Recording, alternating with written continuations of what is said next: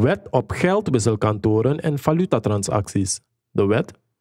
Er mogen geen cash-valutatransacties binnen Suriname worden gedaan, dus u mag niemand betalen met cashvaluta en niemand mag u vragen om met cashvaluta te betalen.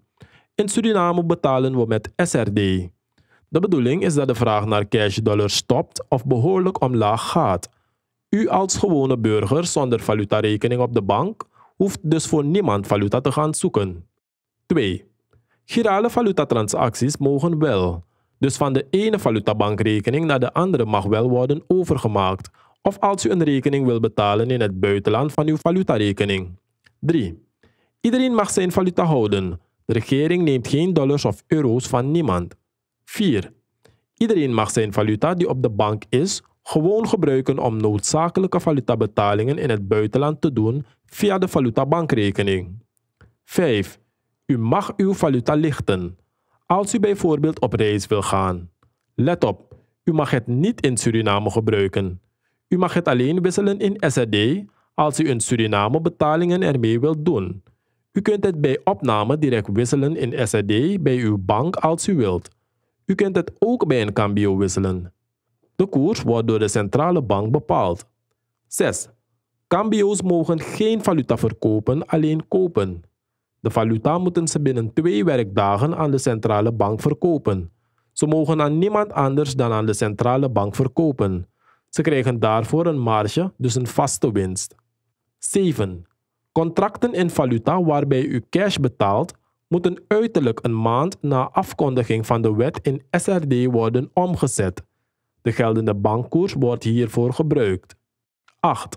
Als u geen valutarekening heeft, mag u toch via de bank geld overmaken naar het buitenland voor studie, medische doeleinden, als u de plicht heeft voor iemand te zorgen die in het buitenland woont, of als u een creditcard heeft die moet worden aangezuiverd. 9. Als u geen valutarekening heeft, mag u op vertoon van uw ticket bij de banken valuta kopen om op reis te gaan. Tot welk bedrag? Dat zal door de centrale bank en de banken worden vastgesteld. 10. Vanaf nu gaan we weer ervoor zorgen dat de valuta uit export tenminste voor een deel, 60%, weer naar de centrale bank gaat om de valutareserves van de bank op te bouwen. Exporteurs die zich niet hieraan houden, krijgen geen toestemming om meer te exporteren totdat ze aan de plicht hebben voldaan. 11. De centrale bank moet elk kwartaal een rapport publiceren over de valuta-inkomsten en de valuta-uitgaven en ook nog een inschatting hoe die zich gaan ontwikkelen voor de rest van het jaar. De bank geeft aan of er wordt verwacht dat er meer zal worden uitgegeven dan de bank zal binnenkrijgen. 12. Als de bank verwacht dat er minder deviezen binnen zullen komen dan er zullen worden uitgegeven aan onder andere import, geeft de bank dat aan in het rapport. 13. Als de bank aangeeft dat er minder deviezen binnen zullen komen dan uitgegeven zullen worden voor dat jaar, is de regering verplicht de import van sommige niet-essentiële producten zodanig te verminderen dat de deviezeninkomsten en uitgaven tenminste gelijk worden. Dit zijn steeds tijdelijke maatregelen. 14. De essentiële goederen komen voor op een lijst die de regering verplicht is op te stellen, waarop tenminste voorkomen voedingsmiddelen, medicijnen en andere medische middelen, productiemiddelen en zaken die de overheid nodig heeft.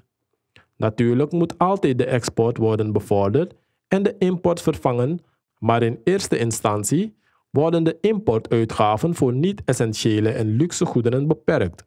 We hopen dat daardoor ook de eigen productie op gang komt. De straffen voor mensen die zich aan deze wet niet houden, staan in de wet economische delicten. Straffen voor cambio's die zich niet aan de wet houden kunnen zijn inbeslagname en verbeurdverklaring van goederen en ook boetes, maar ook intrekking van de vergunning.